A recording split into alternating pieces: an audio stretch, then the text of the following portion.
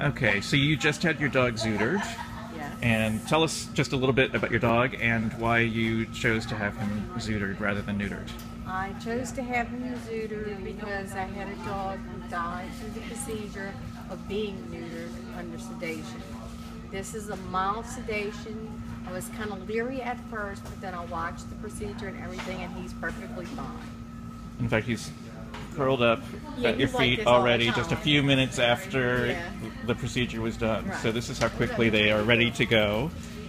And um, so thank you for coming. Thank you for having us. and uh, let us know if there's anything else we can do for you.